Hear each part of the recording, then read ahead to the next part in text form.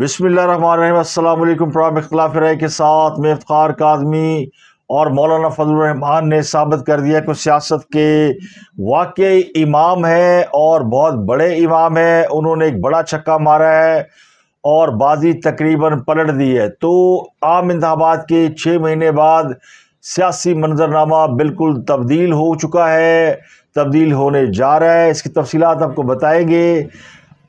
حکومت اور پارلیمنٹ کو نہ ماننے والے لوگ بھی اب رکن اسمبلی کے استعفیٰ دینے پر اسے پارلیمنٹ میں واپس لانے کے لیے دوڑے لگا رہے ہیں۔ تو اس کا مطلب یہ کہ پارلیمنٹ کی اہمیت کو تسلیم کر لیا گیا ہے۔ تو لگتا ہے کہ ریاستی ادارے اور حکومت اپوزیشن کو بھی قابو کرنے میں کامیاب ہو گئے ہیں۔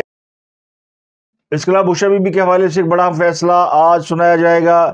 جبکہ علی من گنڈا پور کو عدالت نے گرفتار کر کے پیش کرنے کا حکم دے دیا ہے، تو کیا وزیر اللہ کے پی کے گرفتار ہو جائیں گے اور آج انہیں ہتھ کڑی لگا کر عدالت میں پیش کیا جا سکتا ہے؟ اس کے علاوہ ڈاکٹر عمر عادل ایک بار پھر گرفتار ہو گئے ہیں۔ وجہ کیا بنی وہ آپ کو بتائیں گے۔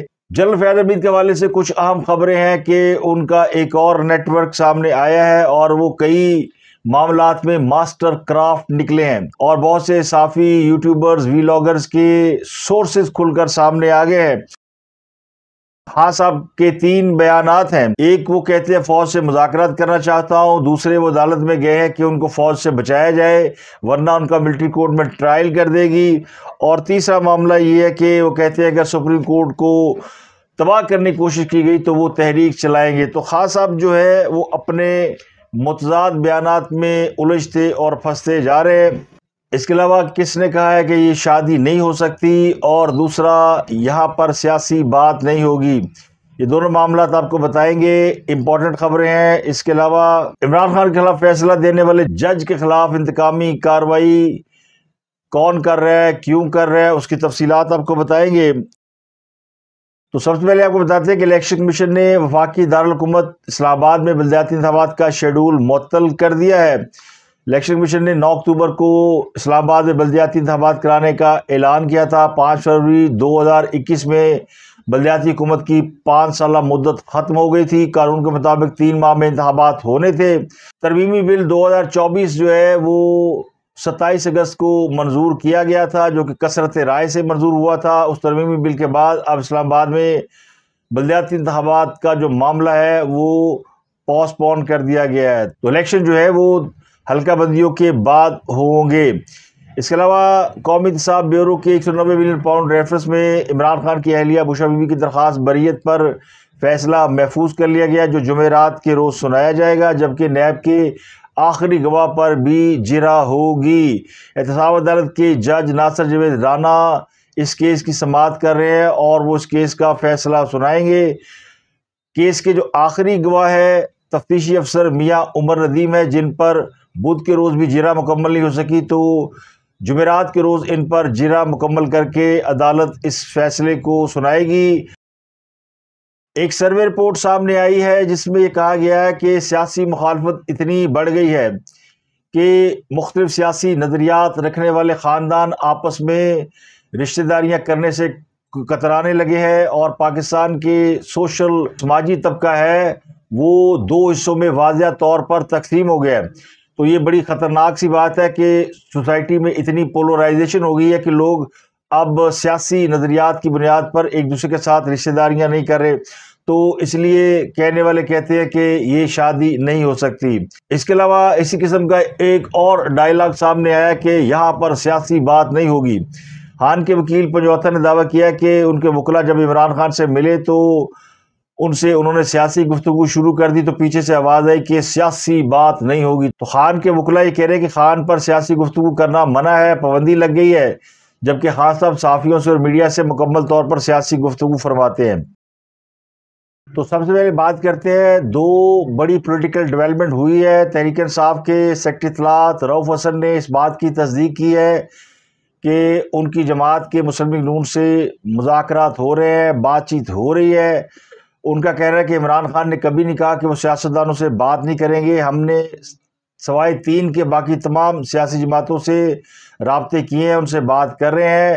تو تحریک انصاف کے سیکٹری اطلاع نے اس بات کی تصدیق کی ہے کہ محمود اچکزئی کے مسلم نون کے ساتھ رابطے ہوئے ہیں اور عمران خان نے محمود چکزئی کو حکومت کے ساتھ مذاکرات کا مینڈیٹ دیا ہے۔ تو تحریک صاحب کے کسی اہم رہنما نے پہلی بار اس بات کا اعتراف کیا کہ ان کے انڈائریکٹلی حکومت کے ساتھ مذاکرات جاری ہیں۔ دوسری بڑی اہم ڈیولپمنٹ ہوئی ہے مولانا فضل الرحمان کے حوالے سے، جنہوں نے پارلیمنٹ کے اندر حکومت سے تعاون کا اشارہ دیا اور انہوں نے کہا کہ فارم فورٹی فائیو والی ہو یا فارم فورٹی سیون والی حکومت ہو، لیکن یہی حکومت ہے، ہمیں انہی سے کام لینا ہے۔ مولانا فضل الرحمان نے کہا ہے کہ سیاستدانوں کو باختیار بنائیں۔ سیاسی لوگوں کی اہمیت ختم کی جا رہی ہے۔ جہاں معروف اور تجربہ کار لوگ ہیں، ان کو سائڈ لائن کیا جا رہا ہے۔ ان کی جگہ نئے نوجوان لوگ لیں گے، لیکن وہ تجربہ نہیں رکھتے، جذباتی ہوتے ہیں، جس کی وجہ سے معاملات الجھ جاتے ہیں۔ فضل الرحمان نے پارلیمنٹ کے اندر ایک تقریر کی۔ انہوں نے کہا کہ سب چیزیں اپنے اندر سمیٹنا اور سارے معاملات کے لیے فیصلہ باد کا گھنٹہ گھر بن جانا، یہ خواہش ہو سکتی ہے، مگر یہ مسئلے کا حل نہیں ہے۔ تو انہوں نے ایک اور صورتحال کی طرف بھی اشارہ کیا کہ ڈیرہ اسماعیل خان لکی مروت کا علاقہ مسلح قوتوں کے قبضے میں ہے۔ وہاں کوئی کام نہیں ہو سکتا۔ حالات کی سنگینی کا انہوں نے اس طرح ذکر کیا کہ کچھ علاقوں میں آج سکول اور کالج وہ ہے جہاں پر پاکستان کا قومی ترانہ نہیں پڑھا جا سکتا، جھنڈا نہیں لہرایا جا سکتا۔ تو یہ صورتحال بڑی خراب ہے، بڑی الارمنگ ہے۔ تو بلوچستان کی صورتحال اور کے پی کے کی جو صورتحال ہے، اس پر وہ حکومت کے ساتھ کھڑا ہونے کا ارادہ رکھتے ہیں، ساتھ دینے کا ارادہ رکھتے ہیں۔ اس کے علاوہ بلوچستان کے معاملے پر بھی انہوں نے کہا کہ اختر مینگل کو اگر سیاسی معاملات پر بات نہیں کرنے دی جائے گی تو پھر ان کا سیاست میں رہنے کا کوئی فائدہ نہیں ہے، پارلیمنٹ میں رہنے کا کوئی فائدہ نہیں ہے۔ انہوں نے یہ بھی کہا کہ سیاسی معاملات جو ہے وہ سیاستدانوں کے حوالے کیے جائے ورنہ مسئلے حل نہیں ہوں گے۔ تو مولانا فضل الرحمان کے بیان سے یہ بات تو ثابت ہو گئی ہے کہ اب وہ اسی حکومت کو تسلیم کرتے ہیں اور ان کے ساتھ مل کر مسائل کو حل کرنے میں دلچسپی رکھتے ہیں۔ تو اپوزیشن نے بلوچستان کے مسئلے پر آل پارٹیز کانفرنس بلانے کا فیصلہ کیا ہے اور اس میں حکومت کو بھی باقاعدہ دعوت دی جائے گی۔ اس کے علاوہ تحریک صاحب نے بی این پی کے رہنما اختر مینگل کے ساتھ ملاقات کی۔ یہ سیاسی ملاقاتیں اختر مینگل کا استعفیٰ واپس لینے کے لیے تھی، انہوں نے کل قومی اسمبلی سے استعفیٰ دے دیا تھا۔ تو حکومت کے لوگ بھی اختر مینگل سے ملے اپوزیشن کے لوگ بھی اختر مینگل سے ملے اپوزیشن نے کوشش کی کہ اختر مینگل ان کے ساتھ مل جائیں۔ انہوں نے یہ بھی کہا کہ آپ پارلیمنٹ میں واپس آئے اپنا کردار ادا کریں اور ہم سب مل کر جو ہے وہ حکومت کو ٹاف ٹائم دیتے ہیں۔ اس سے مجھے ایک چیز تو بہت اچھی لگی اور وہ میں آپ کے ساتھ شیئر بھی کرنا چاہتا ہوں کہ اپوزیشن جو ہے وہ اپنا حقیقی رول پارلیمنٹ کے اندر ادا کرنے پر تیار ہو گئی ہے۔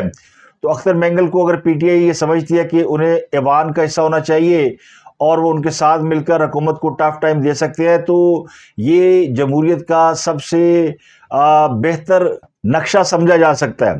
تو بنیادی طور پر جمہوریت کے اندر حکومت جو ہے، وہ پرفارم کرتی ہے اور اپوزیشن چیک اینڈ بیلنس رکھتی ہے۔ تو اب لگتا ہی ہے کہ سب اپنے اپنے رول میں واپس آ رہے ہیں۔ اس میں مولانا فضل الرحمان کی بڑی ایفرٹ ہے کہ جنہوں نے پچھلے چھ مہینے سے تحریک انصاف کو ٹرک کی بتی کے پیچھے لگا رکھا تھا کہ دھاندلی ہو گئی ہے تحریک چلاتے ہیں، لیکن اب وہ پارلیمان کے اندر خود بھی اپنا کردار ادا کرنے پہ تیار ہے اور تحریک انصاف کو بھی بلاخر وہ پارلیمان کے اندر لانے میں کامیاب ہو گئے ہیں۔ تو یہ کوئی لمبا عرصہ نہیں لگا۔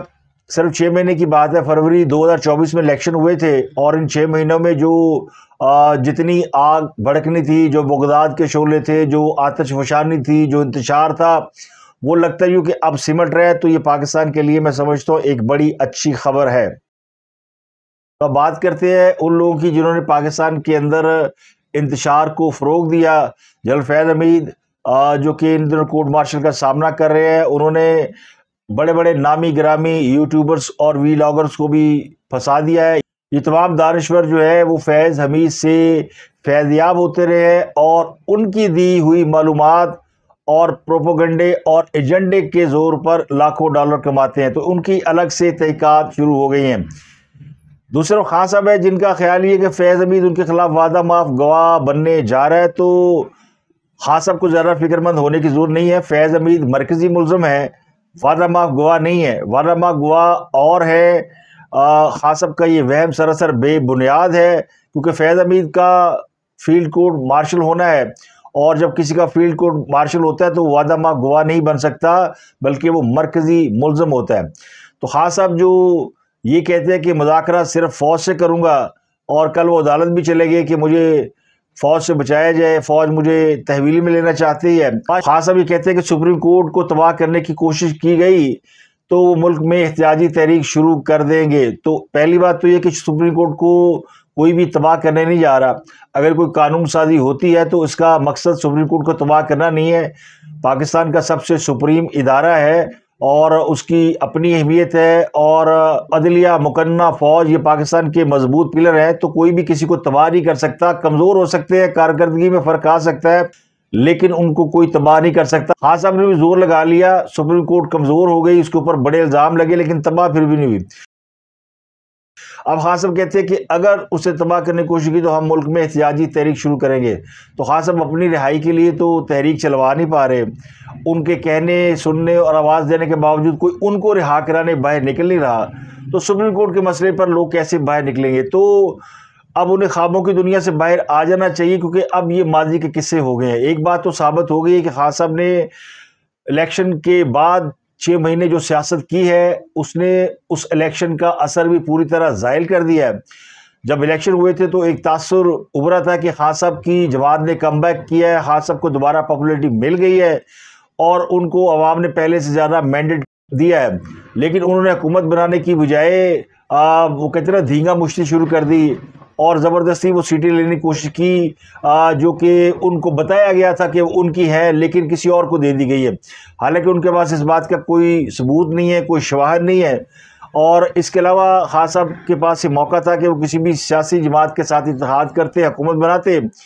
تو آج خان صاحب جیل میں نہ ہوتے، آج ان کی حکومت ہوتی، اپنی مرضی کی وہ قانون سازی کر رہے ہوتے۔ اور جو بھی ان کے خلاف سازشیں کر رہا ہوتا، اس کو وہ جیل میں ڈال چکے ہوتے۔ لیکن اس کے برعکس خان صاحب نے جو پوزیشن اختیار کی، جو بیانیہ اختیار کیا، وہ آج بری طرح پٹ چکا ہے۔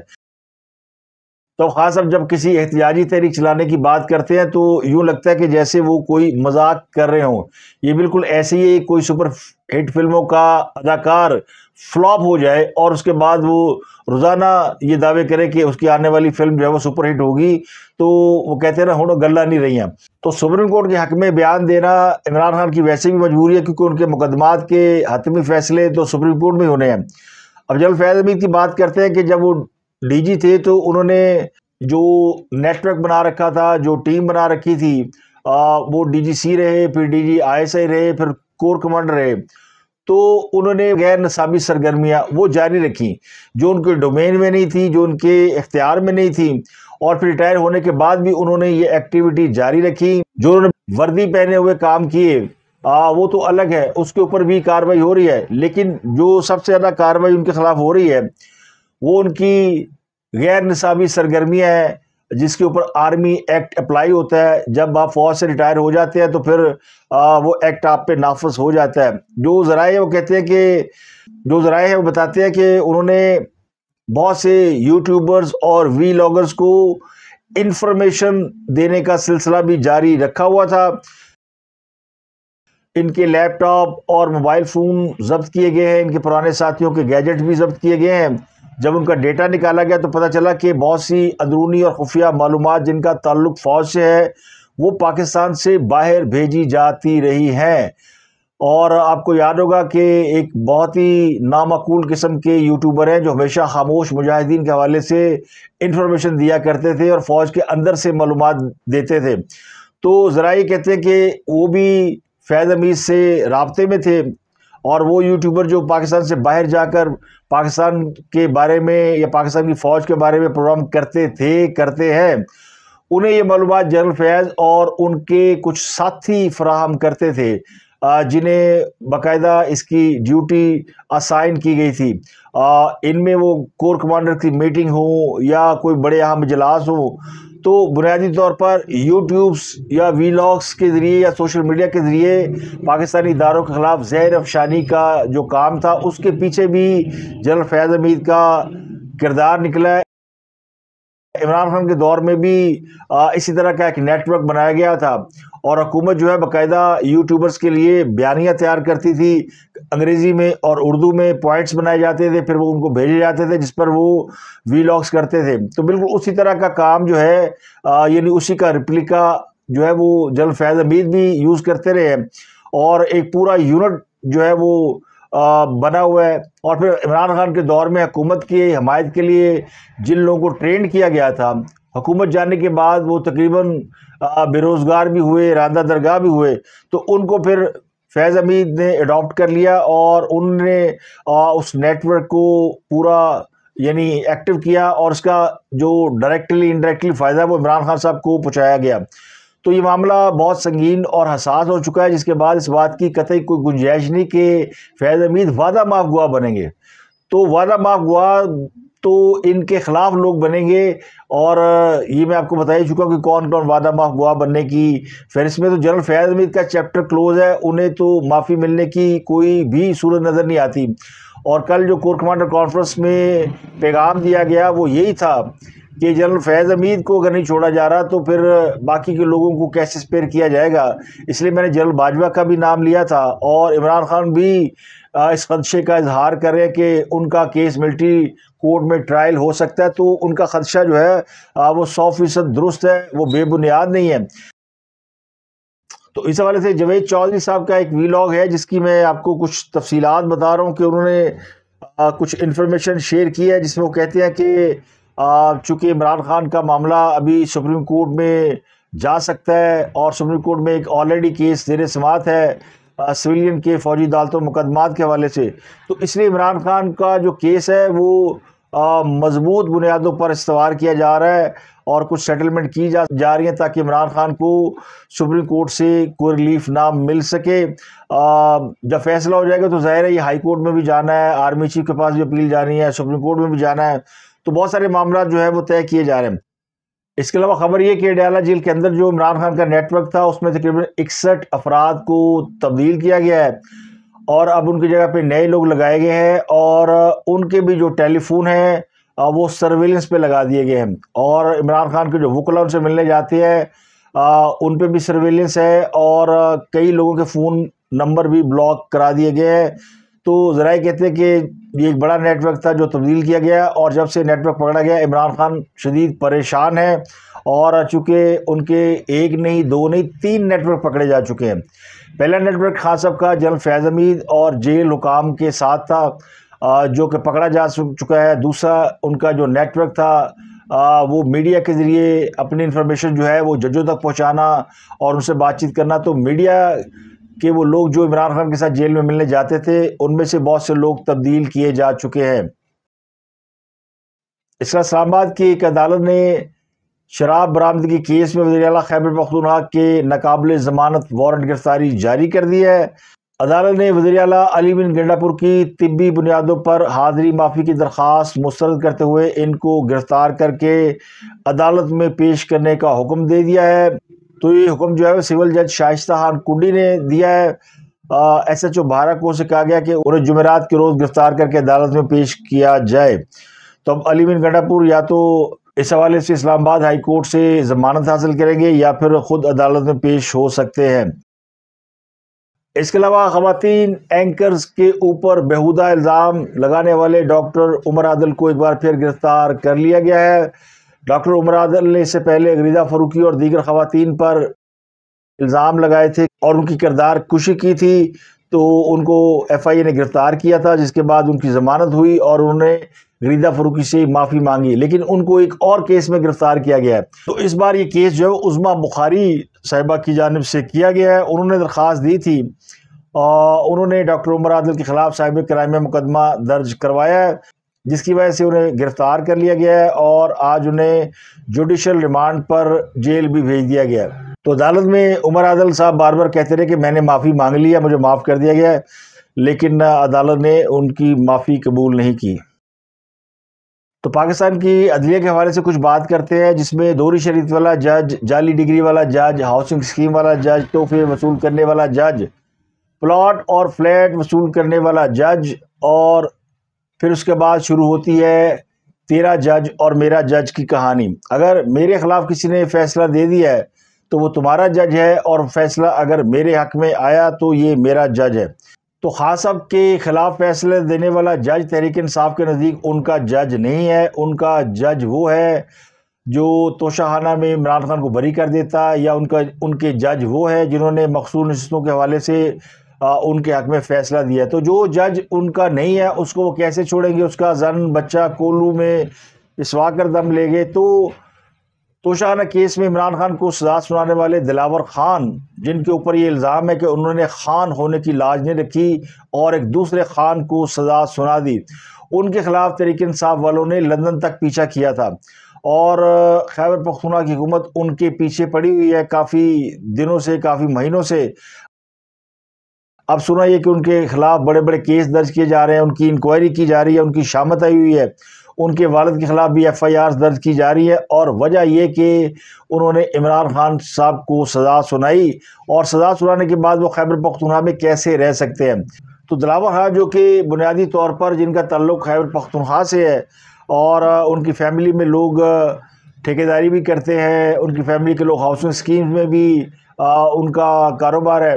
تو خیبر پختونخوا کی حکومت نے اینٹی کرپشن کو ان کے پیچھے لگا رکھا ہے اور ان کو کافی تنگ کیا جا رہا ہے۔ تو اس لیے لوگ پھر خوفزدہ ہو جاتے ہیں۔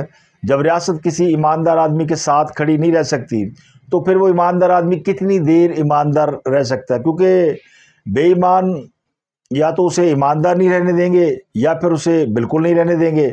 تو حکومت کو جج ہمایوں دلاور کا کیس دیکھنا چاہیے۔ توشانہ کیس میں انہوں نے میرٹ پر فیصلہ دیا تھا۔ اب وہ علی من گنڈا پور کی انتقامی کاروائی کا نشانہ بن رہے ہیں۔ ان کی ہاؤسنگ سوسائٹی کے بارے میں کہا جاتا ہے کہ اسے بالکل تباہ و برباد کر دیا گیا ہے۔ تو یہ معاملہ بڑا خوفناک ہے۔ ریاست کو کم از کم اپنے ایماندار لوگوں کا ساتھ ضرور دینا چاہیے۔ ان کے ساتھ کھڑا ہونا چاہیے۔ جسٹس دلاور ہمایوں کے خلاف جو کاروائی، کو پہلی کاروائی نہیں ہے اس سے پہلے بھی جسٹس گول حسن اورنگزیب انہوں نے جب توشخانہ سے لے گئے تحائف کا ریکارڈ پبلک کرنے کا حکم سنایا تو اس وقت تحریک انصاف کی حکومت نے ان کے سوات کے گھر کو سرکاری میوزیم میں تبدیل کرنے کا نوٹیفیکیشن بھی جاری کیا تھا۔ یہ نوٹیفیکیشن تو واپس ہو گیا تھا، لیکن گل حسن اورنگزیب اس کے بعد تحریک انصاف کے خلاف فیصلے دینے سے یعنی اس کی، ان کی وہ شہرت نہیں رہی۔ اور ان کے اوپر یہ شبہ ظاہر کیا جاتا ہے کہ وہ پرو پی ٹی آئی ہو چکے ہیں۔ تو اسی طرح جج ہمایوں دلاور، ان کے خاندان کے خلاف اگر انتقامی کارروائیاں رہتی ہیں اور ان کو پروٹیکشن نہیں ملتی، تو کل کو پھر یہ جج جو ہے وہ پھر میرٹ پر فیصلہ کیوں دیں گے؟ اس کے علاوہ چیئرمین مرکزی رویت حلال کمیٹی نے اعلان کیا کہ بارہ ربیع الاول سترہ سپٹمبر کو ہوگی۔ بدھ کی شب بدھ اور جمعرات کی شب ربی الاول کا چاند نظر نہیں آیا۔ تو اب تک کے لیے اتنے ہی۔ آپ سے ملاقات ہوتی ہے اگلے ولاگ میں۔ اپنا گرد و نواز کا بہت خیال رکھیے گا۔